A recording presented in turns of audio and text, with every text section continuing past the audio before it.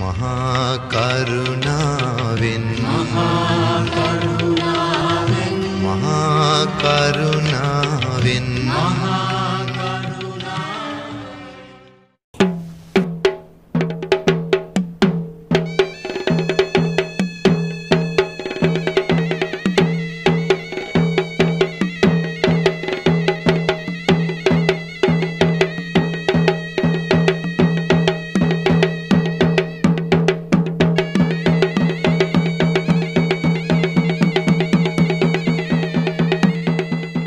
සමන්තා චක්කවාලේසු අට්ටා ගච්චන්තු දේවතා සද්ධම්මං මුනිරාජස්ස සුනන්තු සග්ගමොක්හදං ධම්මස්සවන්න කාලෝ අයංබදංතා ධම්මස්සවන්න කාලෝ අයංබදංතා ධම්මස්සවන කාලෝ අයංබදංතා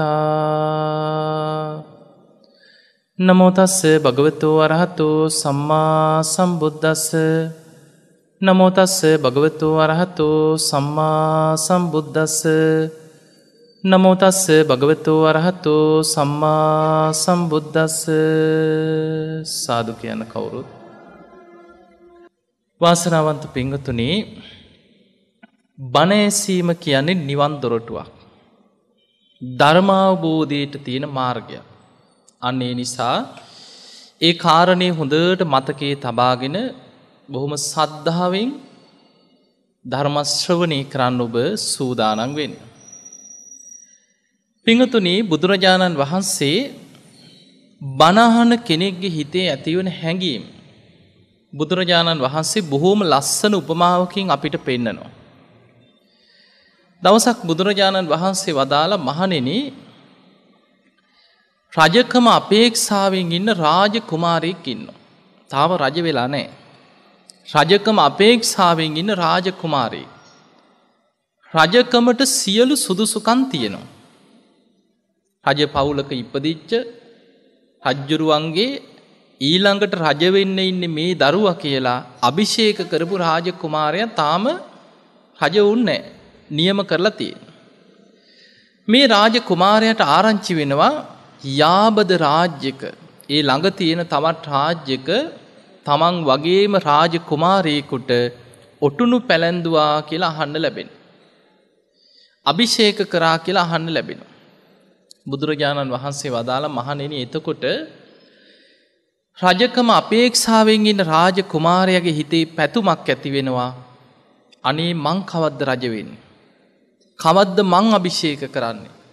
කවද්ද මං රජවෙන්නේ කියල හැඟීමක් ආසාාවක් පැතුමක් හිතේ ඇති වෙන. ඊළඟට බුදුරජාණන් වහන්සේ වදාළ මහනෙන ඔය නගරේම ඉන්නව හිඟන්නේ. පාරි හිඟමන යන මෙලෝ අධ්‍යාපනයකුත් නෑ දැනවගත්කමකුත් නෑ රජවෙන්න කිසිම සුදුසුකමකුත් නෑ. එදා දඹදිවනං රජවෙන්න ශස්ත්‍රීය රාජකීය කුලේක රජ පවුලක උපදින්න ඕන්. එහෙම කිසිම සුදුසුකමක් නැති නගරයේ ඉන්න හිඟන මනුස්සයකුට තරුණයකුට දැනගන්න ලැබෙනවා මේ යාබද රාජ්‍යක රාජකුමාරයෙක් අද ඔටුනු පැළැන්දු අභිෂේක කරා කියලා ආරංචි වෙන. එතකොට බුදුරජාණන් වහන්සේ අහනෝ මහනෙන මේ හිගන්නට හිතෙයිද අනේ මංකවද්ද රජවෙන්නේ. කවද්ද මං අභිෂේක ලබන්නේ කවද්ද මං රජවෙන්නේ කියලා හිතෙනවද හිගන්නෙකුට එම හිතෙනවද. නෑ හිගන්නට හිතෙන්නේ. මොකද ඔහුට රජවෙන්න කිසිම සුදුසුකමක් නෑ. හැබැයි රජවෙන්න සුදුසුකන් තියෙන කෙනාට රජකම අපේක්ෂාවෙන් ඉන්න කෙනාටයි හැඟීමක් ඇතිවෙන්නේ අනේ මං කවද්ද රජවෙන්න කියල්. ඊළඟට බුදුරජාණන් වහන්සේ වදාලා ඔටුනු පලන් රජවරු ඉන්නවා. රජ වෙච්චාය. ඒ රජවරුන්ටත් ආරංචි වෙනවා අන්න අසවල් රාජ්‍යයේ රජතුමා තමන්ගේ වැඩිමහල් පුතාට අභිෂේක කරා රජකම දුන්න. එතකොට ඔටුනු පලන් රජවරුන්ට හිතෙනවද මංකවද්ද රජවෙන්න කියලා හිතෙනවද.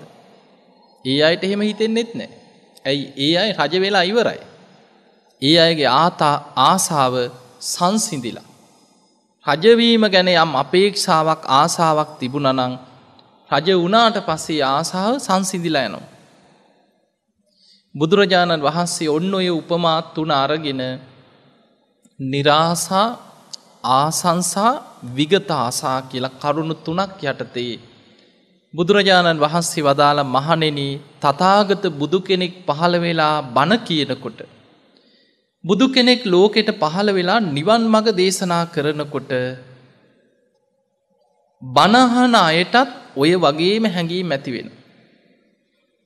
දැන් අපි ධර්මය අහනකොට බණහනකොට අපිට අහන්න ලැබෙනවා මේ ධර්මය අහලා අසවල් අසවල්ලයි සුවාන් වුණා. සකදාගාමි වුණා. අනාගාමි වුණා. මේ ධර්මය අහලා මෙච්චර පිරිසක් මාර්ගපල් ලැබවා කියලා බුද්ධ දේශනාවලින් අපි අහනෝ. ඒ බණපද ඇහෙනකොට මාර්ගඵල ලබපු අය ගැන අහනකොට ආර්ය ශ්‍රාවකයකුට හිතෙනවා අ රජකම අපේක්ෂාවෙන් ඉන්න රාජ කුමාරයකුට හිතෙනවා වගේ. රාජ කුමාරයගේ හිතේ ඇතිවන පැතුම වගේ ආර්ය ශ්‍රාවකයට හිතෙනවා අනේ මං කවද්ද මාර්ග පල් ලබන්. කවද්ද මන් සෝවාන් වෙන්නේ. කවද්ද මම සකදාගාමී කෙනෙක් වෙන්. කවද්ද මන් රහත් වෙන්නේ කියන හැඟීම පැතුම ආසාාව හැමවිලේම හිතට ඇති වෙනවා බනාහන කෙනෙකුට. ධර්ම මාර්ගි දියුණු කරන කෙනෙකුට. ඊළඟට බුදුරජාණන් වහන්සේ වදාලා අන්ද බාල පුතජ්ජනයෝ ඉන්නවා මේ සමාජී. ඒ අයට කවුරු මාර්ග පැල් ලැබුවත් එකයි කවුරු අපාය ගියත් එකයි. අපා යන්න කැමති අයි නැද්ද. එහෙමයි මුණ ගැහිල නැද්ද ජීවිතය. ඕනෙ තරන් ඉන්න. මං යන අපාය කියන්න අංබලගේ වැඩක් බලාගෙන ඉඳ පල්ලා කියන. ඒමයි ඇතින පවුල්ලොලත් ඇති. ඒ ජාතියයි ඉන්නවා. එතකොට ඒ අයට කවුරු සෝවාන් වනත් කවුරු සකදාගාමි වනත් කවුරු රහත් වනත් වගේ වගක් නෑ. බුදුරජාණන් වහන්සේ වදාලා අර හිඟන්න වගේ. නගරයක ඉන්න හිඟන්නෙකුට රාජ කුමාරයෙක් අභිෂේක කරා රජ වුනා කීවට හිඟන්නට හිතෙන්නේ මංකවද රජවෙඩ කිය. අන්න ඒ වගේ අන්දබාල පුතජ්ජනව ඉන්නවා මෙලොව පරලෝ පිළිගන්නෙත් නෑ. කර්ම කරම්ඵල විශ්වාසයකුත් නෑ. තුනුරුවම් පිළිගන්නෙත් නෑ. ඕන අපායක ගියදෙන් කියන හැඟීමෙන් ජීවත්වෙන පවකාරයෝ ඉන්න. එවැනි කෙනෙක්කුට ධර්මය ඇහිවුනත් අසවල් අසවල්ලයි ධර්මය දියුණු කරලා ප්‍රතිඵල ලැබවා මාර්ගඵල ලැබවා කියලා අහන්ඩ ලැබුණත් ඒ කෙනාට වගේ වගක් නෑ කියනවා කිසිම හැඟීමකුත් නෑ එයාට හිතෙන්නේ අනේ මං කවද්ද මාර්ගඵල් ලබන්න කියලා හිතෙන්නේ. ඒ අය අර හිඟන්නන්ට බුදුරජාණන් වහන්සේ උපමා කර. ඊළඟට බුදුරජාණන් වහන්සේ වදාලා ඔටුනු පලන් රජවරු ඉන්නවා. ඒ රජවරුන්ට හිතෙන්නේ මං කවද්ද රජවෙන්න කියලා. මහරහතන් වහන්සේලා මාර්ගඵලලාබීන්. ඔටුනු පලන් රජවරු හා සමානයි කෙනවා. දැන් රහත් වෙච්ච කෙනෙකුට හිතෙනවද අනේ මංකවද්ද මාර්ග පල් ලබන්නේ කියලා. රහතන් වහන්සේලාට හිතෙන්නේ. ඇයි උන්වහන්සේලා ඒ ප්‍රතිඵල ලබල ඉවරයි. මහරහතන් වහන්සේලා කියන්නේ ඔටුනු පලන් රජවරු හා සමානයි කියලා බුදුරජාණන් වහන්සේ උපමාවට ගලපනෝ. අන්නේ නිසා පිංගතුනේ ඔබ ආර්ය ශ්‍රාවක පිරිසක්. බුදුරජාණන් වහන්සේගේ ශ්‍රාවකයෝ. තෙරුවන් සරණ ගිය බුදුරජාණන් වහන්සේගේ ශ්‍රාවකයගේ හැඟීම අරමුණ ඉලක්කෙ තමයි අනේ මං කවද්ද සෝවාන් වෙන්නේ. මම කවද්ද සකදාගාමි වෙන්න. මං කවද්ද අනාගාමි වෙන්න. අනේ මං කවද්ද රහත්වෙන්. ඒ හැඟීම පැතුම හැම වෙලාවෙම හිතේ තියෙන්න්නට ඕන්.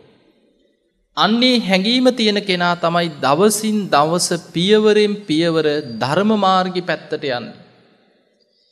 ඒ හැඟීමක් නැති කෙනා දවසින් දවස සතරාපායට ඇදෙනව මිසක් නිවන කරා යොමු එන්නේ. අන්නේ නිසා ධර්මමාර්ගය අරමුණු කරගත්ත. දවසින් දවස පියවරෙන් පියවර නිවන පැත්තට ගමන් කරන පිරිසක් බවට පත්වෙන්. පිංහතුනේ අපිට මේ ධර්මය අවබෝධ කරගන්නකොට පින කියන එක බොහෝ උපකාර කරන දෙයක්. පින් තියෙන්න ඕනේ. දැම් බලන්න මේ පිනේ ස්වභාවය ගැන රහතන් වහන්සේලා දෙනමක් ගැන හිතන්. මේ බුද්ධ ශාසනයේ හිටිය සීවලී මහරහත්තන් වහන්සේ. උන්වහන්සේට පුදුම ලැබීමක් තිබුණේ. මහා කැලේකට වැඩියත් දේවතාවරු හරි විමාන මවාගෙන දන් දෙනු. කවදාවත් සිව් පසේ වැරදුන්නේ දානිටික වරදින්නේ. උන්වහන්සේට සිව් පසේ බහුලව ලැබුණා. ඒ නිසා බුදුරජාණන් වහන්සේ පවා ගමන දුස්කරනං දුර ඈත චාරිකාවක වඩින්න තියෙනවනං ගමන පිටත් වෙන්න පෙර මාහනවා ආනන්ද ගමන බොහොම දුස්කරයි. මහ වනාන්තර මැදින් යන්න තියෙන දුර ගමනක් තියෙන්නේ. සීවලි ඉන්න වනේද කියලහනවා. සීවලි හාමුදුරුව ඉන්නවා කියන්නේ අනිත් හැමෝටම දානෙ ටික ලැබෙනවා. ඒ ගැන බයක් නෑ.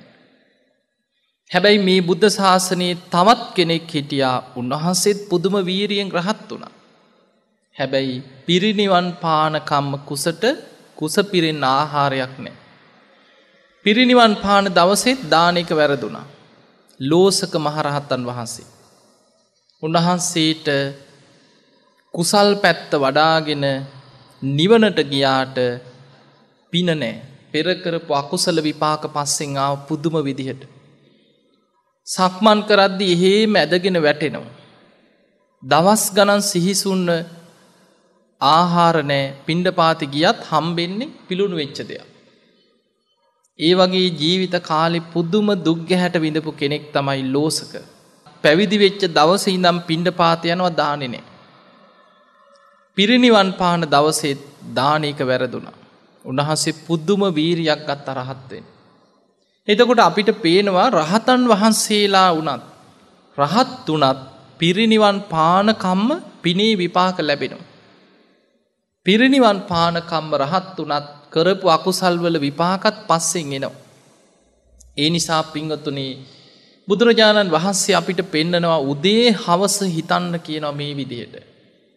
කම්මස්ස කෝම්හි මම කර්මය ස්වකීය කරගත් කෙනෙ.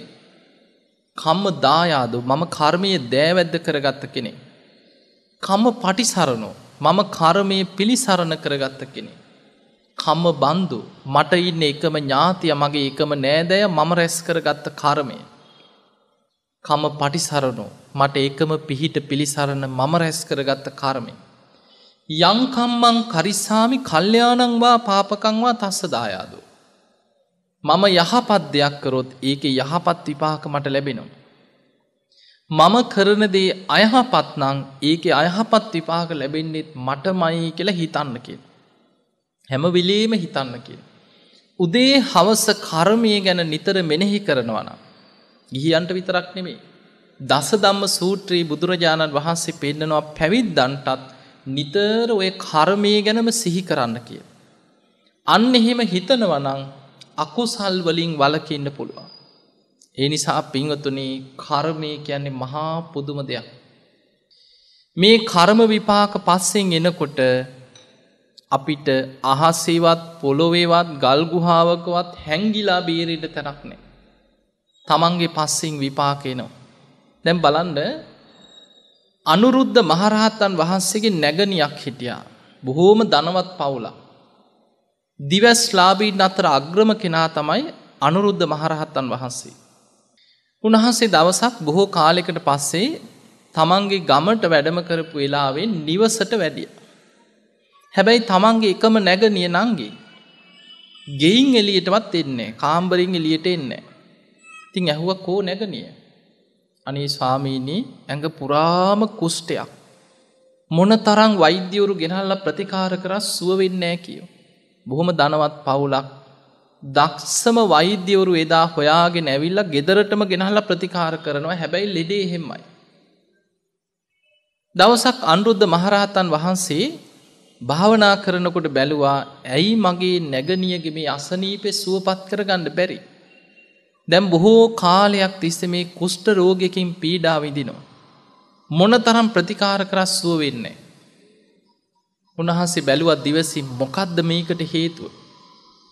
අන්න බලනකොට දකිනවා බොහෝ කාලෙකට පෙර රජ කෙනෙක්ගේ බිසවක් වෙලා ඉපදිලා හිටිය. බොහොම ලස්සනයි රජ බිසවක්. රජ්ජුරුවෝ මේ අන්තපුරයට තවත් බිසෝවරු කීප දෙනෙක් අරගෙනාව. තමන්ට වැඩිය බොහොම ලස්සන බිසෝවරු කීප දෙනෙක් අන්තපුරයට ගෙනාවට පස්සේ එදා මේ බිසවට ඉරිසියාවක් ඇති වුණා. මේ අය මට වඩා ලස්සනයි. රජ්ජුරුව මේ අයට වැඩිපුර හිත ඇදිලා යන්න පුළුව. අගබිසව හැටියට මේ කෙනෙක් ගත්තොත් එයාට ලැබෙන දරුවට තමයි රජකම ලැබෙන. ඒ නිසා පුදුම තරහකින් ඉරිසියාවෙන්ම හිටිය. දවසක් කල්පනා කරා මේ අයගේ ශරීරයේ ඔය තියෙන ලස්සන නැතිවෙන්න මොනොහරි කරන්න ඕන. හොයලා හොයලා හොයාගත්තා විස සහිත ගෙඩි වගේයක් කොළ වගේයක්. මේවා ගෙනහල්ලා අඹරලා අර විස සහිත දේවල් අර කොළ අඹරලා ඒ ඉස්ම නිදාගන්න ඇඳවල් වල යහනාවල් වල ඇඳුම් වල පොරෝ ගන්න ඇඳුම් වල ගෑවා. Taman දන්නේ වගේ හිටියා. මේවා පරිහරණය කරපු අනිත් බිසෝවරුන්ගේ ශරීරවල හම ගිහිල්ලා තුවාල ඇවිල්ලා පැසවලා මුළු ශරීරෙම විරූපි වෙලා ගියා. එදා මේ කරගත්ත අකුසලේ විපාකෙ හැටියට උපවුපං ආත්ම ගණනාවක්ම කුෂ්ඨරෝගී. එතකොට බලන්න මේ සසර තමන් කරන අකුසල් තමන්ගේ පස්සෙන් එන හැටි. උපවුපං ආත්මවල හැම ආත්මිකම කුෂ්ඨරෝගී පුදුම දුකක් විඳිනවා එලියටවත් බැහැගන්න බෑ මුළු ඇඟම කහනවා දනවා දදයක් කුෂ්ටයක්. දැම් මේ ආත්මෙත් කුෂ්ට රෝගියෙක් වෙලා මුළු ඇගේම කුෂ්ටයක් මුළු ඇඟම දනවා ඇගෙන්ම සැරව ගලනවා. ඉතින් අනුරුද්ධ මහරහතන් වහන්සේ බැලුව මොකක්ද මේ නැගනයට තියෙන ප්‍රතිකර්මය. කොහොමද මේ අකුසලෙන් මිදෙන්නේ. උන්වහන්සේ දැක්කා අකුසල් යටපත් වෙන්න කළ යුතු එක පිනක් තියෙනවා. මේ නැගනිය බොහොම ආසයි රත්තරම් බඩුවලට. ආභරණ පළඳින්න ආසයි. ඒ නිසා පුංචි කාලේ ඉදම්ම ලස්සන ලස්සන ආභරණ රැසක් එකතු කරගෙන හදාගෙන හිටිය. අනුරුද්ධ මහරහතන් වහන්සේ නැගනයට කියනව නැගනිය ඔබ ඔය රෝගයේ සුවපත් කරගන්න නම් මේක ඔබේ පෙර අකුසලයක් කර්ම රෝගයක්. ඔබ ආසාාවෙන් තියාගෙන ඉන්න එකතු කරන ඔය ආභරණ ටික විකුණන්න කියව. විකුණලා ඒ ලැබෙන මුදලින් බුද්ධ ප්‍රමුඛ සංඝයා වෙනුවෙන් කුටියක් හදලා සඟ සතු කළ පූජ කරන්න කිය. ඒ වෙලාවේ දැන් තමන්ගෙම සහෝදරයන්න මේ අනුරුද්ධ මහරහත්තන් වහන්සේ පැවිදි වෙලා රහත් වෙච්ච රහතන් වහන්සේ මේක විශ්වාස කරා මේක පිළිගත්තා. වෙන කෙනෙක් කියවන බැනුම් අහන්නත් පැනේ මගේ රත්තරම් බඩු ටිකට විදින්නයි මේ එන්නේ කියලා හිතන්නේනේ. එතකොට බලන්න බොහොම ධනවත් පවුලක්. තමන්ගේ අතේ තියෙන සල්ලි වලින් කුටි හදන්න වැඩක් නැහැ. තමන් ගාව තියෙන එකතු කරගත්ත තැම්පත් කරගත්ත ධනයකින් නෙමෙයි කුටිය හදන්න කිව්වේ. තමන් තමන්ගේ ශරීරය ලස්සන කරගන්න එකතු කරගත්ත යම්තාක් ආභරණ ඇද්ද ඒ ආභරණ විකුණලා ඒ ලැබෙන මුදලින් කුටියක් හදන්න කිය. මොකද පෙර කරලා තියෙනෙ තව කෙනෙක්ගේ ශරීරයක ලස්සන දැකලා ඉවසගන්න බැරුව ඉරිසියාවෙන් කරපු අකුසල විපාකයක් මේ පස්සෙන් එන්නේ. එදා මේ රන් ආභරණ ටික එකතු කරලා විකුණපු දවසේ අර කුෂ්ට රෝගී දැවිල්ල දනගතිය වේදනාව නැති වුණා කිය. කුටිය හදන්න පටන්ගත් අත්තිවාරම දාලා ටිකෙන් ටික ටිකෙන් ටික බැඳගෙන බැඳගෙන යනකොට රෝගිය එහෙමම සුවපත්වීගෙන සුවපත්වීගෙන ගිය. කුටිය හදල අවසන් වෙච්ච දවසේ බුද්ධ ප්‍රමුඛ සංඝයා වඩම්මල මේ කුටිය සඟ සතු කළ පූජ කරද්දී එදා තමයි කෙනවා හම සම්පූර්ණෙම සාමාන්‍ය තත්ත්වට පත්වෙලා එදා තමයි ගෙයින් එලියට ඇවිල්ලා ඒ උත්සවයට සම්බන්ධ වෙච්ච දවස. එතකොට පිංහතුනි අපිට පේනවා මේවට කියන්නේ කර්මජ රෝග. මේව බෙහෙත්වලින් හොද කරන්න පුළුවන් දේවල් නෙමේ. කර්ම විපාක මතයන රෝග තියෙනවා. ඒ නිසා අපි සමහර වෙලාවට වෛද්‍යවරු හොයාගෙන හොයාගෙන යනවා. ඉන්න හොඳම වෛද්‍යවරුන්ගෙන් බෙහෙත් ගන්න. හැබැයි මේ වෛද්‍යවරු කියනවා අපි දෙන්න තියෙන හොඳම බෙහෙත් දීලා තියෙන්නේ. ඔය ලෙඩේට ඉතින් මීට වඩා මොනව කරන්නද. සමහර වෛද්‍යවරු නං සම්මාධිට්ටියක් තියෙන වෛද්‍යවරු කියනවා ගිහිල්ල පිනක් දහමක් කරගන්න. මීට වඩා ආගමික පැත්තෙන් පොඩ්ඩක් උත්සාහ කරලා බලන්න. ඌමනාවටත් වඩා බෙහෙද්දීලා ඉවරයි කියලා ධර්මයට යොමු කරන වෛද්‍යවරුත් ඉන්න. එතකොට අපිට පේනවා හැම ලෙඩක්ම බෙහෙතෙන් සනීප කරන්නත් බෑ. කර්මජ රෝග. පිංහතුනී දැම් බලන්න සාරිපුත්ත හාමුදුරු. අපේ බුද්ධ ශාසනයේ ධර්ම සේනාධිපතින් වහන්සේ. උන්වහන්සේට තිබුණ බඩේ අමාරුව. උන්වහන්සේ පුද්දුම විදිහට සමහර දවස්වලට බඩ අල්ලගෙන පුද්දුම වේදනාවෙන් ඉන්නවා මුගලං හාමුදුරුව දකිනවා. දවසක් මුගලං හාමුදුරු දැක්ක සාරිපුත්ත හාමුදුරු පුදුම වේදනාවකින් බඩ අල්ලගෙන වේදනාවෙන් ඉන්නවා. එවෙලේ මුගලං හාමුදුරු ඇවිල් අහනව සාරිපුත්ත ඔබවහන්සේට ගිහි කාලෙත් ඔය අසනීපෙ තිබ්බද. තිබ්බ කියනවා. එදකොට ඒ කාලේ අම්මා මොනවහරි බෙහෙතක් විශේෂ දෙයක් දීලා තියෙනවද ගිහි කාලෙද. එතකොට කියනවා ඒ කාලේ අම්මා මේ වගේ මේ මේ වගේ බෙහෙත්වර්ග දාලා කැඳක් හැදුව බෙහෙත් කැඳක්. ඒ කැඳ එක බීවට පස්සේ තාවකාලිකව ටිකක් සුව වෙනවා. සම්පූර්ණ සුව වෙන්න මේක කර්මයක්. අකුසල විපාකයක් පෙර. ඒ නිසා තාවකාලිකව යටපත්වෙනවා. ඒ විලායි මුගලං හාමුදුරුව මේ කැඳ එක ගැන අහගෙන ඉඳලා සාරිපුත්ත හාමුදුරුව කැඳ හදන හැටි කැඳවලට දාන බෙහෙත් වර්ගයි ඔක්කොම කිව්ව. මුගලං හාමුදුරුව කියනවා සාරිපුත්තයන් වහන්ස ඔබහන්සේ මහා පින්වන්ත කෙනෙක්. ඔබවහන්සේගේ ඔය පින නිසා හෙට ඔය කැඳටික අපිට හම්බේ. මුගලං හාමුදුරුව ඒ කතාව කිව්ව. අගසව් දෙනම මේ ඇතිකරගත්ත කතාව අහගෙන හිටිය අමනුස්සේ.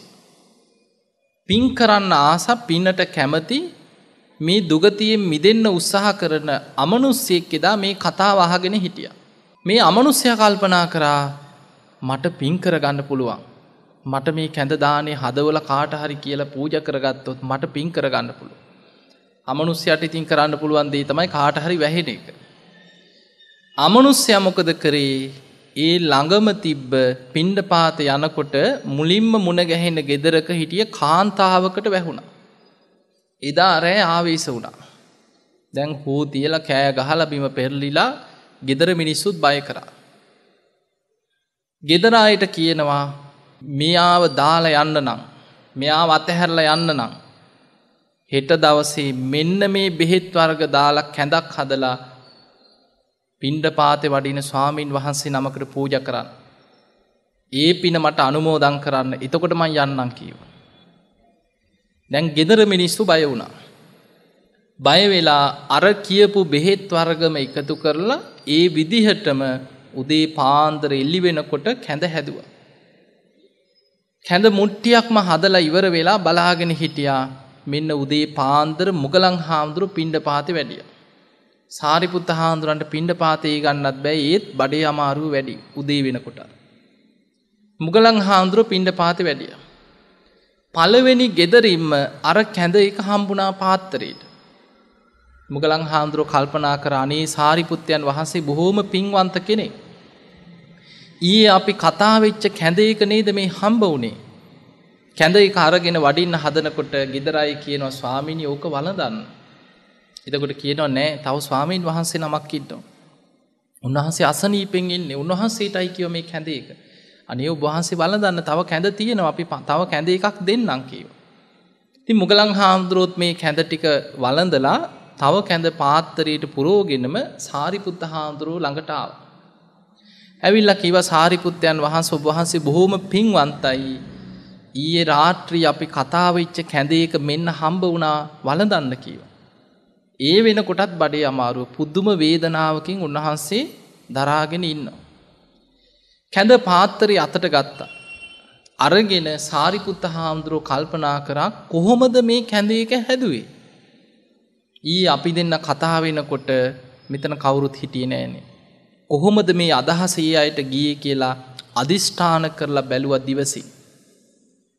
බලනකොට දැක්කා ඉදා කතා වෙනකොට ඊ රාත්‍රී මේ අහගෙන හිටිය අමනුස්සේ ගිහිල්ලක් කෙනෙකුට හිංසා කරලා. කෙනෙක්ව බය කරලා. කෙනෙකුට ආවේශ වෙලා බයගන්නවල හදවපු කැඳක් මේ තියෙන්. මේක මට සුදුසු දෙයක් නෙවෙයි. භික්‍ෂුවකට මේක සුදුසු නෑ මේක ආජීවයෙන් අපිරිසිදුයි. සාරිපුත්ත හාමුදුරුව කොච්චර බඩේ අමාරුව තිබුණත් කැඳ පාත්තරය අරගෙන එලියට ගිහිල්ලා අධිෂ්ඨාන කරා මම මගේ ආජීවය අපිරිසිදු කරගන්නෑ මැරුණත්. මේ බඩේ අමාරුව මොනතරම් මට වේදනා ගෙනත් දීලා මම මැරුණත් කෙනෙකුට හිංසා කරවල හදපු කැඳක් මං වළඳන්නේ. එහෙම කැඳ ටික ගහ යටට බිමට හැලුවා. අර කැඳ ටික හලනකොට කැඳ ටික බිමට හැලිලගී යම්සේද ඒ වේගෙන්ම වේදනාව හේමම සුවපත් වෙලා සනීප වුණා. එතකොට අපිට පේනෝ දැන් බෙහෙතක් කරන්න සනීප වුණා නෙමෙයිනේ. අර කැඳේක තමන්ගේ සීලය ගැන අධිෂ්ඨාන කරලා කෙනෙකුට හිංසා කළ හදපු බෙහෙත් කැඳක් මං වලදන්නේ කියලා තමන්ගේ සීලේ ගැන අධිෂ්ඨාන කරලා කැඳ ටික බිමට හලනකොටම ලිඩේ සනීප වුණේ ඇයි. ඒක කර්මයක් නිසා හටගත්ත රෝගයක්. අර සීලමය අධිෂ්ඨානෙන් තමන්ගේ ආජීවයේ තියෙන පිරිසිදු භාවයක්ත් එක්ක ඒ අධිෂ්ඨාන ශක්තියෙන්ම රෝගය යටපත් වුණ. ආයමත් හැදුනේ උන්වහන්සේ පිරිනිවන් පාන්න ආසන්න වෙනකොට. එතකොට පිංහතුනි අපිට පේනවා මේ කර්මජ රෝග කියලා කොටසක් තියෙනවා අපිට පීඩා කරනවා. සමහර වෙලාවට අපි නොයෙක් වෛද්‍යවරු හොය හොයා යනවා බෙහෙත් ගන්න. සනීප වෙන්දැන් අපි නිකං හිතම් මෙහෙම අපේ කොන්දෙ අමාරුවක් තියෙන. අපි මේ කොන්දෙ අමාරුවට වෛද්‍යවරු හොය හොයා හොය හොයා යනවා. අපි දන්නවද අපි පෙර සසර කාගේ හරි කොන්දක් කැඩුවද කියලා. සනීප නොවෙන්නේ පෙර අකුසල විපාකයක්ද කියලා අපි දන්නවා දන්නේ නෑ. ඒ නිසා ඔබට පුළුවන්නන් කාට හරි රෝධපුටුවක් පරිත්‍යයක් කරන්න. කවුරු හරි අසරණයෙක් වෙනුවෙන් කිහිලිකරුවක් පරිත්‍යාග කරන්න. ඒ පින ගැන සිහිකර කර සතුටුවෙන්. මගේ ජීවිතේ මං මේ වගේ පිනක් කරා මේ වගේ පිනක් කරා මේ වගේ අසරණයකුට මම වගේම රෝග පීඩාවට පත්වෙච්ච මේ වගේ අසරණයකුට මං මේ වගේ පිහිට වුණා ඒ පිනෙන් මගේ මේ රෝගයේ යටපත්වේවා සුවපත්වේවා කියලා ඒක මෙනෙහි කරන්න. ඒ පින බලවත් වෙනවා ඒ පින මතු වෙලා කර්මජ රෝග යටපත් කරගන්න පුළුව. ඉපදුනානම් පින්වතුනි ලෙඩ වෙනවා ඒක වලක් කන්න බෑ කාටවත්. ජාති පච්චයා ජරා මරණ සෝක පරිදේව දුක්ක දෝමනස්ස උපායාසා සම්භවන්ති. ඉපදුනානං ලෙඩ වෙනවා වයසට යනවා දවසින් දවස මොහොතින් මොහොත ෂනීන් ෂණය මරණය කරාලං වෙනවා. ඒ නිසා අපිට ලෙඩ නොවෙන ජීවිතයක් ගත කරන්න බෑ දැන් නිකං හිතන්න මෙහෙම අදාපි ජීවත්වෙන සමාජය ගැන නිකං හිතන්න. අපේ බුදුරජාණන් වහන්සේ පහළ වෙනකොට මනුස්සලෝක ආවිශ කීයද කීද බහලතිය. අවුරුදු එකසිය විස්සයි. සාමාන්‍ය ආයු අපේක්ෂාවේ. මනුස්සේකුගේ ජීවත්වෙන සාමාන්‍ය ආවිශ තමයි අවුරුදු එකසිය විස්ස. හැබැයි ඊට වඩා වැඩිපුර හිටිය අව් බහල ඇති බක්කුල මහරහත්තන් වහන්සේ. අවුරුදු කීයක් වැඩ හිටියද. අවුරුදු එකසිය හැටක් වැඩ හිටිය. උන්වහන්සේ පැවිදි වුණේ අවුරුදු අසුවෙන් අද අසුවෙන් පැවිදි වුණානන්නේ පහෝදාට අපවත්වෙනවා. එදා බක්කුල මහරහත්තන් වහන්සේ අවුරුදු අසුවන් පැවිදි වෙලා පැවිදි ජීවිතෙත් අවුරුදු අසුවක් වැඩ හිටිය. අවුරුදු එකසේ හැටක් වැඩ හිටිය. උන්වහන්සේට අසනීපයක් කියලා කිඹුහමක් විතරයි කියෙන ගිහිල්ලති එක ලෙඩත්ද. එතකොට බලන්න අවුරුදු එකසේ හැටක් වැඩ හිටියක් කිසි මසනීපයක් නෑ කිය. ඒකට හේතුව පෙර විපස්සි බුදුරජාණන් වහන්සේගේ කාලේ විපස්සි බුදුරජාණන් වහන්සේ ඇතුළු හැටාට ලක්ෂයක් සඟ පිරිස ඉදා දඹදිව් තලේ වැඩ ඉඳලතිය. මෙයින් විපස්සි බුදුරජාණන් වහන්සේත් අගසව් දෙනමත් බොහෝ සඟ පිරිසක්. හිමාල වනාන්තරය ආශ්‍රිතව වස්කාලයක් ගත කරා ආරාමයක. කැලේ හිමාල වනේ ආශ්‍රිත ආරාමික වැඩ හිටිය වස්කාලය. හිමාල වනේ තිබ විස සහිත මල් වර්ගයක් නිසා. ඒ මල්වල සුවඳ ආග්‍රහණය කිරීමෙන් ලෙඩක් ඇති වුණා මේක වේගෙන් පැතිරිලාගයා භික්‍ෂූන් වහන්සේලාට. ඒ අසනීපේට කියෙන විපුෂ්පක කියලා. විස සහිත පුෂ්පයක් ආග්‍රහණය කිරීමෙන් ඇතිවෙච්ච ලෙඩක්. මේ විපුෂ්පක කියන රෝගය නිසා විපස්සි බුදුරජාණන් වහන්සේත් අගසව් දෙනමත් විතරයි ලෙඩවුන් නැත්තේ. අනෙක් භික්‍ෂූන් වහන්සේලා සියලු දෙනාම අසනීප වුණා. බොහෝම අසාධ්‍ය වෙන විදිිය බොහෝ වේදනා වින්දම අසනීපේ. දැඟයි වසංගත රෝග තියෙන වේගෙන් පැතිරිලායන් අන්නේ වගේ පැතිරිලා ගිය. එදා මේ හිමාල වනාන්තරයේ හිටියා තාපසයෙක් හැටියට ඉශිවරයෙක් හැටියට මේ කෙනා ඉපදිලා. අපේ බුද්ධ ශාසනයේ නිරෝගී භික්‍ෂූන් අතර අග්‍රස්ථානය ලබපු කෙනා එදා ඉශිවරෙක් තාපසේ. විපස්සි බුදුරජාණන් වහන්සේ ඇතුළු මේ සඟ පිරිස වැඩඉන්නවා කියන ආරංචියට බලන්න එනකොට ආරාමිට මේ පිරිසම ලෙඩ වෙලා. අසනීප වෙලා.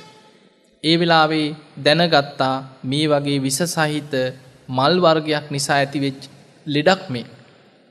ඉක්මනට බෙහෙත් කොළවර්ග බෙහෙත් පොතුවර්ග බෙහෙත් මුල්වර්ග බෙහෙත් ගෙඩිවර්ග හොය හොයා පිරිස එකතු කරගෙන මුළු වනාන්තරෙන්ම පිරිස් බෙහෙත් හොයාගෙන ඇවිල්ලා මේවා කොටලා අඹරලා කසාය වර්ග වගේ හදලා ඒවා බොන්න දීලා ඒවා ගාලා සම්පූර්ණයෙන්ම අර සඟ පිරිසට බෙහෙත් කරා. එදා විපස්සි බුදුරජාණන් වහන්සේ සමඟ වස් සමාදන් වෙච්ච දහස් ගණන් සඟ පිරිස්සට ප්‍රතිකාර කරලා ප්‍රාර්ථනයක් කරා මේ පිනෙම් මට මතු ඉක්මනින්ම නිවන් අවබෝධයම ලැබේවා. මට උපවපං ආත්මවල නිරෝගී සම්පත්තියම ලැබේවා.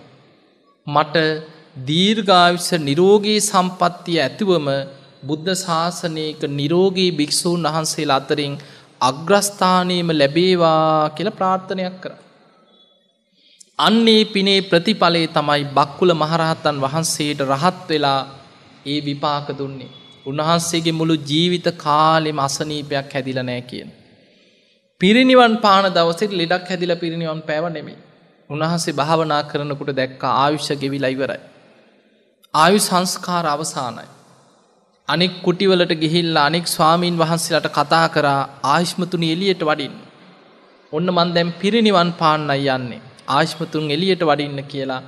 අනෙක් ස්වාමීන් වහන්සේලට කතා කරලා ඒ අයට තමන්ගේ කුටියේ යතුර භාරදීලා හැමෝටම කියලා සියලු දෙනා ඉදිරියේ පිරිනිවන් පෑව අහසට පැන නැගල.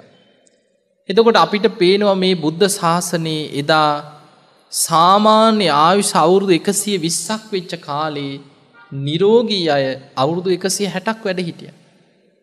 තියෙන ආවිශවලටත් වඩා වැඩිපුර හිටිය. දැම් බලන්න අනුරුද්ධ මහරහත්තන් වහන්සේ දිවස්ලාබීන් අතර අග්‍රයි උන්වහන්සේ අවුරුදු එකසිය පණහක් වැඩ ඉඳලතිය. එතකොට අපිට පේනවා එදා අවුරුදු එකසිය විස්ස වැඩ හිටපු ගොඩක් අයි හිටිය විසාකාව. විසාකා උපාසිකාව කෙනෙ දරුවෝ විසි දෙනෙක්ගේ අම්ම කෙනෙ. එතකොට අදනන් දරුව විසක් බිහිකරපු අම්ම කෙනෙ නිකම්ම ලෙඩ වෙලා වැහැරිලා ඉවරයින්නේ. එදා අවුරුදු එකසී විස්සක් බොහෝම හොඳ කාය ශක්තියක් ඇතුව විසාකාව හිටිය. විසාකා වයසට ගියත් තරුණ වයස කෙනෙක් වගේ ඇත්තු තුන් දෙනෙක්ගේ කාය ශක්තියක් තිබ්බකින විසාකාවට. එහෙම කාය ශක්තියක් ඇතුව උපදින්න හේතුව පෙර සසර කරපු දම්පින්කංවල විපාක කියන. එතකොට අපිට පේනවා මේ පින කියන්නේ මහා පුදුම දෙයක්. හැබැයි පින්වතුනි අද වෙනකොට දැන් හිතන්න බුදුරජාණන් වහන්සේ පිරිනිවන් පාලා අවුරුදු දෙදස් පන්සිය පනස් ගානක් දැන් ඉක්මගෙන යනවා ගිහිල්ල ඉවරයි. දැන් අවුරුදු දෙදස් පන්සිය ගානක් ගෙවිලා ඉවර වෙනකොට එදා අවුරුදු එකසිය විස්සක් තිබ ආවිශත් දැන් අඩු වෙලා අඩු වෙලා අඩු වෙලා අඩු වෙලා ඇවිල්ලා. අද වෙනකොට සාමාන්‍ය මිනිස්සුන්ගේ ආයු අපේක්ෂණය අවුරුදු හැට පහයි හැත්තෑවයි හැත්ත පහයි උපරිම අසුවක් ඇති වුන්. ඔය වගේ තමයි සාමාන්‍ය ආයු අපේක්ෂණය තියෙන්. කලාතුරකින් ඉතින් කෙනෙක් ඉන්න අවුරුදු අනුවක් අසූ පහ කනූ පහක් ඉන්න කෙනෙක් අහන්න ලැබෙනවා හැබැයි ඉන්න කොහොමද. අන්තිම කාලය අවුරුදු පහලවක් විස්සක් ඉඳලා තියෙනෙක්කු රෝධ පුටුවක. එක් කෝත්පල වෙලා එක් තැන් වෙලා. මහා පෙර පිනක් තිබ්බ කෙනෙක් විතරයි අවුරුදු අනුවක් අනූ පහක් හරි හොඳ නිරෝගී සම්පත්තින් අඩුගානේ තමන්ගේ වැඩ ටික හරි කරගන්න පුළුවන් මට්ටමේ කාය ශක්තියක් ඇතුව ඉඳලා මරණයට පත්වේ. එතකොට අපිට පේනවා අපේ ආවිශ්‍ය පිරිහිලා. අපි වේගෙන් ලෙඩරෝගවලට ගොදුරු වෙනවා. ස්වභාවික විපත්වලට වේගෙන් අපි ගොදුරු වෙනවා. ඒ නිසා පිංවතුනේ පුළුවන් තරං සිල් ගුණ දහම් ආරක්ෂා කරන්න පටන්ගන්න. අපිට වෙන ආරක්ෂාවන්න ක්‍රමයක් නෑ. චක්‍රවර්ති සීහනාද සූට්‍ර බුදුරජාණන් වහන්සේ පෙන්න්නනවා මිනිස්සු දුස්සීල දුස්සීල වෙන්න ස්වභාවික විපත් වැඩි වෙනවා. මේ ස්භාව ධර්මයට බලපෑම් කරන්න පුළුවන් දේවතාවරු මිනිස්සුන්ගේ යහපතට උදව් කරන්නේ කියන මිනිස්සු අධර්මිෂ්ට වෙනකොට දුස්සීල වෙනකට. කොච්චර වැසි වැහැල වැහැල මිනිස්සුන්ට විනාස වනත් වැස්සවලාහක දෙවියෝ අහක බලං ඉන්නවා පවකාරයන් අධර්මිෂ්ට මිනිස්සු ආරක්ෂා කරන්න දිවිවරු ඉදිරිපත් වෙන්නේ. නියගේ නිසා කොච්චර පීඩා වින්දත් ස්භාවිකව කවදහරි වහින වැස්ස වහිනකං වැස්සවලාහක දීවරු මිනිස්සුන්ට උදව් නොකර අහක බලනවා මිනිස්සු අධර්මිෂ්ටනත් දුස්සීලන. ඒ නිසා අපි හිතුවට මේ වහිනේක වැස්ස සුළඟ වලාකුළු සීතල උණුසුම මේවා සියල්ල ස්භාවික දේවල්. ඒවට කියන්නේ රිතු නියාම නියාම ධර්මය ඇතරේ මේ ස්භාව ධර්මය හැබැයි ඒවට බලපෑම් කරන්න පුළුවන් ඉරදි බල සම්පන්න දෙවිවරු ඉන්න. ඒ අය මිනිස්සු සිල්වත්නං ගුණවත්නන් ධර්මී හැසිරෙනවනං ධර්මානුකූලව ජීවත්වෙන වනං ඒ දෙවිවරු මිනිස්සුන්ගේ යහපතට ස්භාව ධර්මයට බලපෑම් කරනවා. නිසි කලට වැසි ලබා දෙන්න දෙවිවරු උපකාර කරනු. හැබැයි මිනිස්සු අධර්මිෂ්ට වෙනකොට ස්භාව ධර්මයට බලපෑම් නොකර දිවියන් අයින් වෙනවා. අන්න එතකොට විශාල විපත්වලට මිනිස්සු ලක් වෙන. ඒ නිසා පිංවතුනේ දෙවියන්ගේ පවා උදව්පකාර ලබන්න නං අපි සිල්වත්වෙන්න ඕනැ ගුණවත්වෙන්න ඕන ධර්මානුකූල වෙන්න ඕන. දැම් බලන්න ඔබ පෞද්ගලිකව හිතන් බුදුරජාණන් වහන්සේ පෙන්නනවා කෙනෙක් මෛත්‍රිය වඩනවන. මෛත්‍රී කාය කර්ම තියෙනවන. මෛත්‍රී වචී කර්ම තියෙනවන. මෛත්‍රී මනෝකර්ම තියෙනවනම් මෛත්‍රියෙන් ජීවත් වෙන කෙනෙක් නම්. දේවතාරක්කන්ති දෙවියන් එයා වාරක්ෂා කරනවා. මෛත්‍රිය දියුණු කරන මෛත්‍රී සහගත කෙනාට දෙවියන්ගේ උදව්පකාර ලැබෙන. ඒ නිසා ඔබේ ජීවිතය තුළ පුළුවන් තරම් පින් කරන්න කුසල් වඩන්. මේ මනුස්ස ජීවිතයේදි තමයි අපිට ඔය කරන පින්කං ඔක්කෝම කරගන්න තිය. දැන් අපි හිතමු අපි ඇස් දන් දෙනවා. ඇස් කන්නාඩි පූජ කරන. දිවිය ලෝක ගිහිලව්ව කරන්න පුළුවන්ද. දෙවියනුත් කන්නඩි දාගත්තා ඉන්නවා දෙහෙම. ඒව කරන්න නෑ. ඒ ඔක්කොම් මනුස්ස ලෝක කරන්න තිය. අපි රෝධපුටු දෙනවා කෙහිලි කරු දන් දෙනවා. ආබාධිතයට. රෝධපුටුවලින් යන දෙවරු දැකල තිනව කොහෙවත්. පින්තුරෙක්වත් දැකල තියනොත් කෙහිලි කරුවලින් යන දේවතාවරුවම. නෑ. ඒ පින්ටික කරගන්න තියෙන්නෙත් මනුස්ස ලෝකේ. අපි පිළිකාරෝ හලවල් හොයාගෙන ගිහිල්ලා ඒ වාට්ටුවලට දන් දෙෙන අනේ පව් කියලා අනුකම්පාවෙන් පින් කරනු. පිළිකා හැදිච්ච දෙවරුත්තින්න අධිවිය ලෝකවල. එතකොට මේ ළමා නිවාස වැඩිහිටි නිවාස ආබාධිත නිවාස අසරණ මිනිස්සු මේවා හොය හොයා ගිහිල් අපි පින් කරගන්න. ඔය කරන පින් සියල් අපිට කරගන්න තියෙන කොහෙන්ද මනුස්ස ලෝකෙදි. විහෙර විහාර හදන්න හරි බුදු පිළිම නෙලන්න හරි චෛත්‍ය හදන්න ධර්මශාලා හදන් මහා පින්කං කරන්න දුගී මගේ යාචකයන්ට පිහිටවෙන් අසරණයට උදව්පකාර කරන්න මේ සියලු පින්කං කරන්න තියෙන් අපිට මනුස්සලෝකෙද ඔය පින්ටික ඔක්කොම කරගන්න තියෙන්. දිවියලෝකෙ ගියාට පස්සේ කරපු පිනෙන් අපිට සැප සම්පත් පහළ වෙනවන් නිවන් මාර්ගයට යන්න ඒ පිනෙන් පරිසරය හැදෙනවා.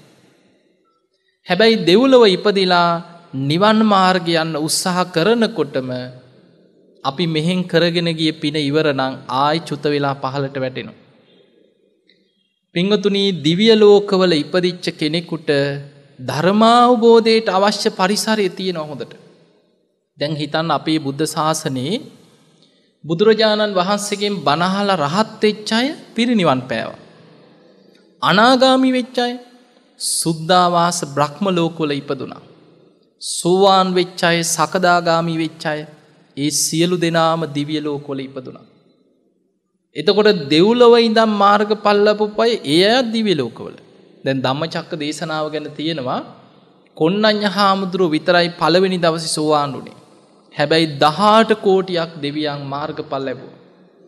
එතකොට අපිට පේනවා බුදුරජාණන් වහන්සේගේ සමහර දේශනාවලින් මනුස්සලෝක එක්කෙනෙක් දෙන්නෙක් කීප දෙනෙක් නිවන් දකිනකොට දෙවියන් දහස් ගණනින් ලක්ස ගණනින් මාර්ග පල් ලැබුව. එතකොට ඒ මාර්ග පල්ලපු දෙවිවරු දිවිය ලෝකවල අදටත් වැඩඉන්න. ඒ දෙවිවරුන්ට බුදුරජාණන් වහන්සේ පිරිනිවන් පාලා සමහර දිවිය ලෝකොල්ට සතියක් දෙකක් වගේ චාතුම් මහරාජික දිවිය ලෝකෙට සතියක් දෙකක් වගේ. තාවතින්සෙට යනකොට දවස් දෙක තුනක් වගේ. තුසිත දිවිය ලෝකෙට යනකොට දවස් එක හමාරක් දෙකක් වගේ. බ්‍රහ්ම ලෝකවල අයට දැනෙන්නේ පැය කීපයක් වගේ බුදුරජාණන් වහන්සේ පිරිනිවන් පාල. ඒ වගේ කාල නිර්ණයක් ගැන තමයි දේශනාවල පෙන්න්න. එතකොට ඒ දෙවියන්ගේ ආවිෂ දිහා ගත්තහම ඒ අය බොහෝ කාලයක් දිවියලෝකොල මාර්ග පල්ලාබී දිවරු තාමත් වැඩයින්. ඒ නිසා දිවියලෝකයක පින් රැස්කරගෙන සුගතියකට ගියොත් මාර්ග පල්ලාබී කල්්‍යානමිට්ට සත්පුරුස ධර්ම අවබෝධයක් ලබපු දෙවරු මුණ ගැහෙනවා. හැබැයි අපි පින් කරගෙන නැත්නං පෙරපිනකින් සුගතියට ඇදිලගියත් පින ඉවර වෙච්ච ගමන් ආයි පහලට වැටෙනවා. සමහට අකුසලයක් බලවත් වනොත් අපායිටම යන්නත් පුළුවන් දිවිය ලෝකෙ. ඒ නිසා පුළුවන් තරම් පින් කරන්න කුසල් වඩ. දැම් බලන්න ඔබ දන්නවා බුදුරජාණන් වහන්සේගේ කාලේ හිටිය පූතිගත්ත තිස්ස කියලා හාමුදුරු කෙනෙ. අහල ඇතින. මුළු ඇගේම කුෂ්ටරෝගයක් හැදිලා ඇඟම වන වෙලා තුවාල වෙලා සැරව ගලනු. බුදුරජාණන් වහන්සේ උදෑසන මහා කරුණා සමාපත්තියෙන් බැලුව ලෝකෙ දිහා. බලනකොට දැක්කා පූතිගත්ති සහාමුදුරුව බොහෝ වේදනා විදින වසනීපයකි. උන්වහන්සේට නිවන්දකින්න පින තියෙනවා. උන්වහන්සේගේ ආවිශාද ගෙවිල් අවසන් වෙනවා. රහත්වවෙන්න පින තියෙන කෙනෙ. බුදුරජාණන් වහන්සේ පූතිගත්තති සහාමුදුරු හොයාගෙන උන්වහන්සේ වැඩ ඉන්න කුටියටම වැඩිය.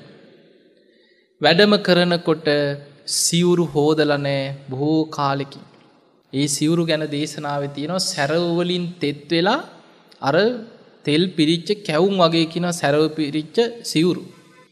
බුදුරජාණන් වහන්සේ ශ්‍රී හස්තේම මේ සිවුරු ඉවත් කරලා උනු පැන් එකක් අරගෙන ඒ වෙලාවේ මේ ඔක්කෝම උණු අතුරෙන් හේදුව හෝදල වැනුව.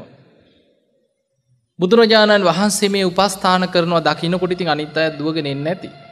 කට්ටියත් ඇවිල සම්බන්ධ වෙන්න ඇති බුදුරජාණන් වහන්සේ මේ භික්ෂුව කුටියෙන් එලියට ඇඳත් එක්කම උත්සල අරගෙන. උනු පැන් එහෙකින් නෑව්වා. තමන්ගේ ශ්‍රී හස්තේ මර තුවාල පිරිමදිමින් සැරව පිරිච්ච තුවාල බුදුරජාණන් වහන්සේම සුද්ධ කරමින් නාවලා අලුස් සිවුරක් ඇන්දුව.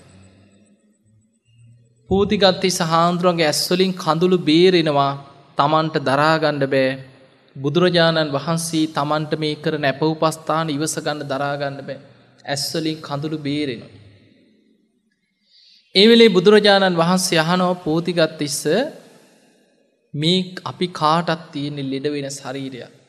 පෝතිගත්තිස්ස මෙන්න මේ විදියට හිතන්. මේ ඇස නිත්‍යයද අනිත්‍යද අනිච්චම්බන්තය අනිත්‍යයි ස්වාමිනයකි. පූතිගත්ත තිස්ස මේ ඇස අනිත්‍ය නං අනිත්‍ය වූ ඇසක් නිසා ඇතිවෙන්නේ සැපක්ද දුකක්ද දුක්කම් බන්තී දුකයි ස්වාමිනයකි. අනිත්‍යයනන් දුකනං මේ ඇස මම මගේ මගේ ආත්මයයි කියලා තමන්ට ඕන විදියට පවත්වන්න පුළුවන්ද. නෝහේ තම්බන්තේ නැහැස්වාමිනි මේ ඇස අනාත්මයි. බුදුරජාණන් වහන්සේ වදාළ පූතිගත්තිස්ස එහෙමනං ඇස අනිත්‍යයි දුකයි අනාත්මයි කියලා ඇහැ ගැන විමසන්න. පූතිගත්තිස්ස මේ කණ නිත්‍යද අනිත්‍යයද. ඔය විදිහට ඇස කණ නාසය දිව ශරීරය මනස කියන ආයිතන හයම ගැන විදර්ශනා භාවනාව කියල දුන්න. ඔය විදියට ඇස කණ නාසේ දිවකය මනස ගැන අනිත්‍යයි දුකයි අනාත්මයි කියලා විදර්ශනා වඩන හැටි බුදුරජාණන් වහන්සේ බණකිව්. කියල බුදුරජාණන් වහන්සේ වදාළ පෝතිකත්තිස්ස ගුරෝසු ශරීරයක් ලැබුණත්. සියුම් ශරීරයක් ලැබුණත් දුර තිබුණත් ළඟ තිබුණත් තමා තුළ තිබුණත් තමාගෙන් බාහිර තිබුණත්. ආධ්‍යාත්මික වේවා බාහිර වේවා අතී තනාගත වර්තමාන වසයෙන් ගත්තත් මේ ඇස කණනාසේ දිවකයි මනස කියන ආයතන හයත්. මේ ආයතන හය තුළ හටගන්න පංච උපාදානස් කන්දයත් අනිත්‍යයි අනිත්‍යයි අනිත්‍යයි. මේක දුකයි මේක මම මගේ මගේ ආත්මයයි කියලා පිළිගන්න පුළුවන් දෙයක් නෙමෙයි කියල බුදුරජාණන් වහන්සේ පූතිගත්ති සහාමුදුරන්ට බණකිව. ඒ වෙලාවෙ පූතිගත්ති සහාමුදුරුවෝ ඒ බණටික මහගෙන එහෙම අරහත්වයට පත් වනා ඒ වෙලාවෙම පිරිනිවන් පෑව. දැන් ලිඩ වෙලා මුළු ඇගේම කුෂ්ටයක් තිබිලා කොච්චර දුක්වින්දත් මොකක් හරි තවත් පිනක් තිබුණ බුදු කෙනෙක්ගේ ශ්‍රී හස්තයෙන් ඇප උපස්ථාන ලබන්. එදා බුදුරජාණන් වහන්සේ අප උපස්ථාන කරලා බණ කිව්වා ඒ බණටික අහල රහත් වෙලා පිරිනිවන් පෑව. එදා බුදුරජාණන් වහන්සේ භික්‍ෂූන් වහන්සේලා ලවා පිරිස එකතු කරවල පෝතිගත්තිස්ස හාන්දුරුවන්ගේ දේහය ආදාහනය කරවල ධාතුන් වහන්සේලා තැම්පත් කරලා චෛත්‍යයක් හදන්න කිව්වා දෙව් මිනිස් ලෝකයාට වන්දනා කළ පින් කරගන්න. එදා බුදුරජාණන් වහන්සේ දම් සභා මණ්ඩපේට හවස වැඩම කරපු වෙලාවේ දැම් බොහෝ පිරිසක් හවසට බණහන්න දම් සභා මණ්ඩපේට එකතුවේ. එදා බුදුරජාණන් වහන්සේ ඇහුව පිරිසගේ මහනෙන බුදුරජාණන් වහන්සේට උපස්ථාන කරන්න කැමති අය මෙතන ඉන්නවද කියලා. අන්න දැන් කට්ටි ඉදිරි පත්වෙනවා ස්වාමීණී මං කැමති. මම කැමති බුදුරජාණන් වහන්සිට උපස්ථාන කරන්න. ස්වාමීණී මම කැමති මමත් කැමති කියලා කට්ටිය ඔක්කොම දැන් ඉදිරි පත්වෙන්. කවුරුත් කැමති ප්‍රසිද්ධ කෙනාට ප්‍රධානයට උපස්ථාන කරන්න කැමති. අර පූතිගත්ති සහාදුරට කවුරුත් හිටිය නැව් උපස්ථාන කර. අන්තිමට බුදුරජාණන් වහන්සේ වැඩම කළ තමයි උන්වහන්සේගේ ශ්‍රීහස්තයෙන් නාවල උපස්ථාන කරේ. ඒ වෙලේ බුදුරජාණන් වහන්සේ වදාලා මහනෙන යෝ ගිලානං උපට්ටේය. යමෙක් ගිලනුන් හට මෛත්‍රී සහගත සිතකින් කරුණාවෙන් මෛත්‍රියෙන් ඇපවපස්ථාන කරනවනං සෝ මං උපට්ඨාති. ඒක බුදු කෙනෙකුට කරන උපස්ථානයක් හා සමානයි. ඒ නිසා පිංගතුනී ඔබ ගිලනෙකුට ඇප උපස්ථාන කර ඔබේ ගෙදර ලෙඩෙක් ඉන්න පුළුව. ඉස්පිරිතාලෙකටම යන්න ඕන්නේ. ගෙදර ඉන්න පුළුවන් ඔබේ අම්මතාත්තා ඥාතිය කවුරු හරි ලෙඩවෙච් චසරණ වෙච්ච කෙනෙ. බොහෝම කරුණා මෛත්‍රීෙන් ඇප උපස්ථාන කරන්න. ගිලං වෙච්චයි ඉන්න වනං බෙහෙතක් ගන්න සල්ලි නැති අයි ඉන්න පුළුව. ඒ අය හොයාගෙන ගිහිල්ල උදව් උපකාර කරන්න.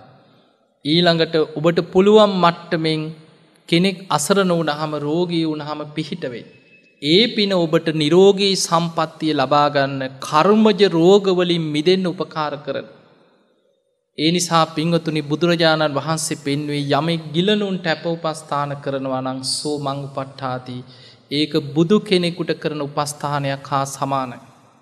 තිය නිසා අපේ ජීවිතය තුළ මේ සියලු පින්කං රැස් කරගන්න අප්‍රමාදීව පින් කරන්න. බුදුරජාණන් වහන්සේ පිරිනිවන් පාන වෙලාව අපිට දේශනා කරේ හන්දදාන භික්කවේ ආමන්තයාම. මහනෙන අවසාන වතාවට නොබල අමතනවා. වයිදම්මා සංකාරා මේ ලෝකෙ සියලු සංස්කාරයන් අනිත්‍යයි. අප්‍රමාදීන සම්පාදීත අප්‍රමාදීව කුසල් වඩා. එහෙම නං ඔබ හැම දෙනාම අප්‍රමාදීව අකුසල් ප්‍රහාණය කරන්න මහන්සි ගන්න සබ්භ පාපස්සා කරන. අප්‍රමාදීව කුසල් වඩන්න කුසලස්ස උප සම්පදා. අප්‍රමාදීව තමන්ගේ හිත දමනය කරගන්න උත්සාහයක් ගන්න සචිත්ත පරියෝ දපනා. ඒ තම් බුද්ධානු ශාසනන් සියලු බුදුරු පහළ වෙලා පෙන්නල දෙන්න මෙන්න මේ අනුශාසනාව. එහෙමනං අපේ හුස්ම ටික කවදක් කොත්තන කොයි මොහොතේ අවසන් වෙයිද අපි දන්නේනේ. අද බණහන් නැවිදගෙන එන කෙනා තව ටික දවසකින් රෝධ පුටුවක එක් තැන් වෙන්න පුළුව. එක් තැන් වෙලා ඇඳක මැරෙනකන් ජීවත් වෙන්න වෙන්න පුළුව. මේ හොඳට හිටපු මිනිස්සු හිටි ගමන් ඔත්පල වෙනවා ලෙඩ වෙනවා අසනීපවෙන්. ඒ නිසා සිහිනුවන තියෙන වෙලාවෙ කල්පනාව තියෙන වෙලාවෙ අප්‍රමාදීව පින් කරන්න කුසල් වඩන්. ඔබ හැම දෙනාටම මේ ලැබිච්ච මනුස්ස ජීවිතය අවසන් වෙන්න පෙර අප්‍රමාදීව පින් දහම් කුසල් දහම් දියුණු කරගෙන උතුම් වූ ධර්මයම අවබෝධ කරගන්න වාසනාව ලැබේවා ලැබේවා ලැබේවා කියලපි ආශිර්වාද කරන. එහෙමනම් පිංහතුනේ අද මේ ධර්ම දේශනාවෙන් ධර්මත් ශ්‍රවණයෙන් රැස් කරගත්ත සියලු පිනාපේ සියලු දෙවියන්ට අනුමෝදන් කරමු. දෙවියෝ මේ පින් දැක බලා අනුමෝදන් වෙත්වා දෙවියන්ගේ දෙවී අස ඉසුරු වර්ධනය කරගෙන සියලු දෙවියෝ වහවහා සසරදුකින් අතමිදේවා කියල සාදු කියලා දෙවියන්ට පින්දෙන්. ධර්මශ්‍රවනය කරපු ඔබ හැම දෙනා නමෙනුත් මිය පරලෝගයේ සියලු ඥාතිීන් ඔබ සිහිපත් කරගෙන හැමෝටම පින් දෙන්න ඔබ සියලු දෙනාගේ පවුල්වල සියලු ඥාතීන් මේ පින් දැක බලා අනුමෝදන් වෙත්වා. ඒ අයගේ පරලොව ජීවිත සැපවත්තේවා සුවපත්තේවා වහවහා සසර දුකින් අතමිදේවා කියල සාදු කියල පින්දේ. සියලු දෙවියන්ගේ පිහිට රැකවන තුනුරුවන්ගේ ආශිර්වාදය ඔබ හැම දෙනාටම ලැබේවා ලැබේවා ලැබේවා හැම දෙනාට මුතුම් වූ ධර්මාවබෝධය පිණිස මේ සියලු පින උපකාර වේවා වේවා වේවා කියල ප්‍රාර්ථනා කරගන්න. බොහොම වැඳගන්න හැම දෙනාට මාශිර්වාද කරනවා. අභිවාදන සීලිස්ස නිච්චංවද්ධහා ප්‍රචායිනෝ චත්තාරෝ ධම්මා වඩ්ඩන්ති ආයුවන්නෝ සුකම් බලං ආයුරාරෝග්‍ය සම්පත්ති සග සම්පත්ති මේ වච අතෝ නිබ්බාන සම්පත්ති මිනාතේ සමිච්චතු හැම දෙනාම නිදුක්කේවා නිරෝගිවේවා සුපත්තේවා සුවපත්තේවා සුවපත්තේවා හැම දෙනාටම තෙරුවන් සරණයි.